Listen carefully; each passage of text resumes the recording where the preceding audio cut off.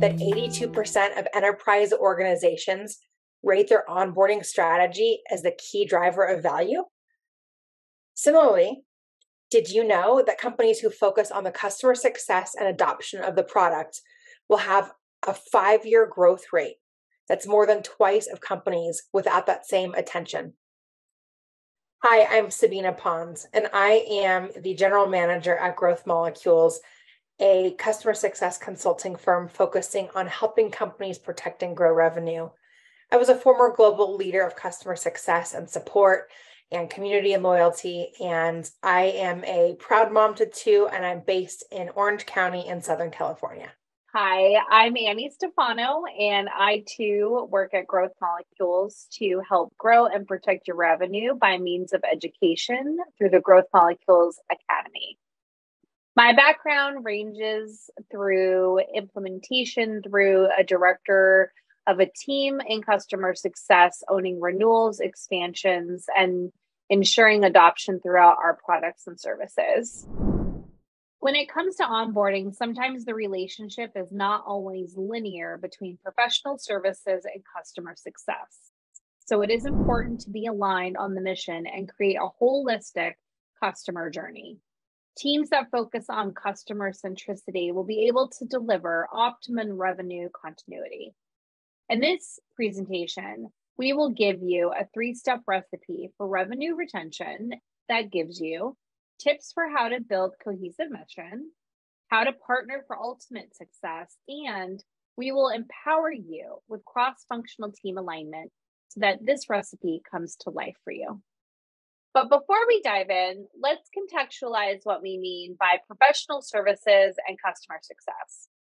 Generally, in our experience and what we've seen, shows that each role has specific responsibilities to best serve the customer. For example, Professional services usually is part of the customer's journey for tactical, short term projects or customization needs. It's often billable and scheduled ahead of time with objectives and goals, usually that are immediate and able to be addressed in the short term. Professional services may also be seen within onboarding, consulting, and training deliverables. Customer success generally is a long term strategic partner for your customers. They act more proactively, help anticipate their needs, and act as a dedicated partner to help achieve long term goals or business objectives, having ownership within phases such as implementation, adoption, and retention. And now Sabina is going to share the first step in our PS and CS partnership. The first step in any recipe is to make sure that you purchase the right ingredients. To build a cohesive mission together, ensure that you have crafted and implemented a RACI model, a matrix tool to denote who is responsible, accountable, consulted, and informed. And then agree and communicate key performance indicator alignment. In this context, we believe that roles and responsibilities should include the RACI model because it is vital in establishing who does what for whom and how effectively. It doesn't mean that you lose collaboration or innovation in your role. It allows for opportunity to establish your value in the customer's journey and work efficiently. Similarly, the importance of KPI alignment is the same success criteria known and measured across both teams. Alignment on customer goals. Professional services and customer success teams should align on the customer's goals to ensure that they are met throughout the implementation and beyond. This can help identify potential upsell or cross sell opportunities and foster a strong long term relationship with the customer. Thanks, Sabina. So, how we share the kitchen or work as a team really ensures that everyone plays a vital role in the customer's journey. And it has to not only be clear to find, but then we need to actually apply and practice it.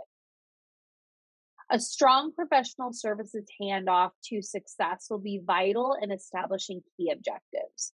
This should include a comprehensive overview of the customer's configuration, any outstanding issues or concerns at the start, and any training or documentation that has been provided.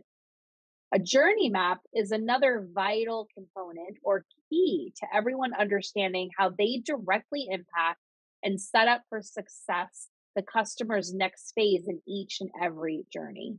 Training for customers and team enablement, where both teams can work together to ensure that customers receive comprehensive training on the software, will help eliminate many misunderstandings.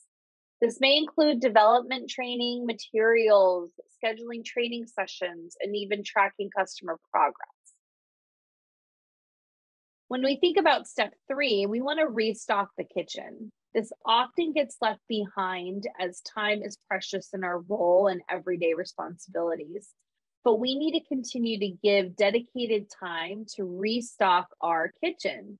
This means we need to have regular communication between the professional services and customer success teams because it is crucial in order to move forward in the right direction. This could include weekly or biweekly meetings to discuss on, ongoing customer projects or any issues that have arisen and opportunities for cross selling and upselling can be communicated internally. Professional service teams often have direct contact with customers during the implementation project, giving essential customer feedback to help you move forward with not only best practices, but gaps or areas of need for your products and solutions. Sharing this feedback with customer success teams can also help them anticipate potential issues along the way, proactively addressing customer concerns. And, finally, regroup and reassess often. If you don't, the data, feedback, and information you've collected won't be any good to use to evaluate it and constantly evolve your products, solutions, training, the customer's needs around the best practices needed for them to succeed, or target any areas or gaps to review. The goal in this step is truly to practice cross functional team alignment and use the information to help pivot process when you need to and where you have to. Like in a kitchen, food spoilage or waste can occur. Professional services implementations in B2B SaaS can be complex and time consuming, and there are several common pitfalls that can occur. These pitfalls can have a significant impact on the customer sentiment from the get go. And then customer success is already climbing an uphill battle to nurture the customer. Some tips to overcome these potential challenges. One, properly and realistically scope your projects. If the project scope is not clearly defined at the beginning of the implementation, it can lead to confusion and misunderstandings. This can result in delays, cost overruns, and frustration for the customer. In fact, a PMI study said that 37% of failed projects attributed to poor requirements gathering, lack of user involvement, and inadequate scoping. A second way to avoid pitfalls is to communicate effectively. Effective communication between internal teams and the customer help to prevent misunderstandings and delays. The third way is to model project management best practices. Poor project management can lead to delays, cost overruns, and missed deadlines.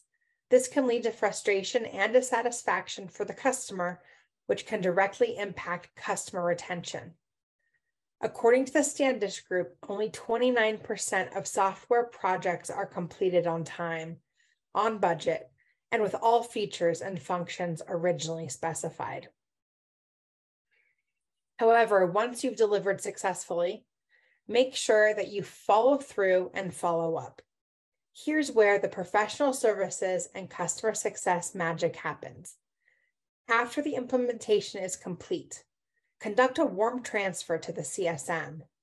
Even better, have the CSM on the project wrap up call. Then the CSM should be in regular contact with the customer. This will make the customer feel supported and truly at the center of your company's mission. In summary, when thinking through the recipe for working with your onboarding team, you should focus on customer centricity which will result in revenue protection and growth. There are three key steps to drive this revenue retention that we covered today. The first step in this recipe is to establish a solid operational foundation. Make the decisions early about who will do what and what will be measured.